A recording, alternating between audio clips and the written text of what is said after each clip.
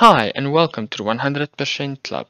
Today I'll be showing you how to get Cap and Crown on Two Point Campus.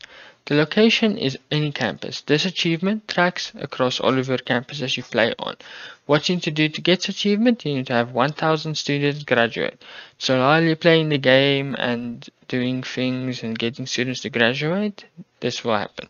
But I'll be showing you exactly in my video guide how to know if your students are graduating, if you need to improve your um, campus and what exactly you need to improve to make sure your students uh, excel and graduate early. But I'll be showing you all of this in the video guide that follows.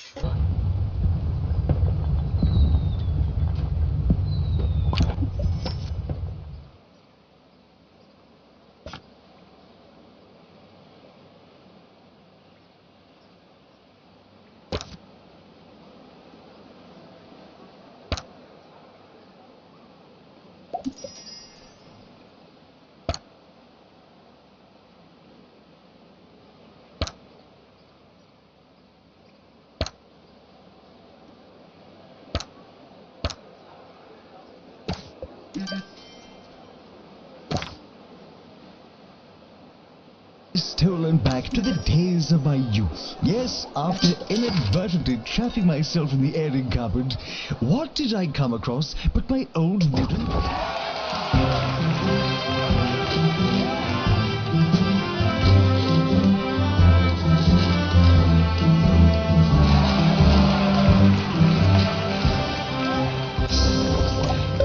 too long since I thought about my days on the university tennis team.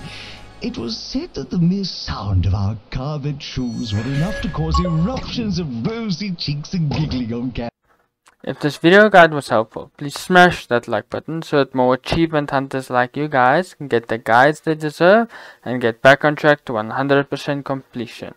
If there is any game suggestions that you want 100% completion guides of, please leave them down in the comments below and smash that subscribe button so that you can get notified when I release them.